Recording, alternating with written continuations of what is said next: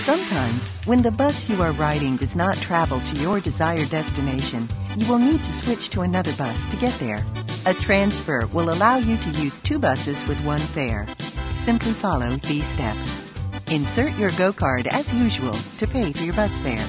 Once you have paid for your fare, ask your bus operator for a transfer card.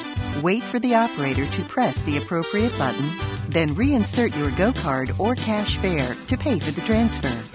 The transfer card will come out of the trim unit directly behind your Go card. Please take this card and remember to keep it to present to the operator of the next bus on your trip. When you transfer to the second bus, simply insert your transfer into the trim unit to complete your transaction.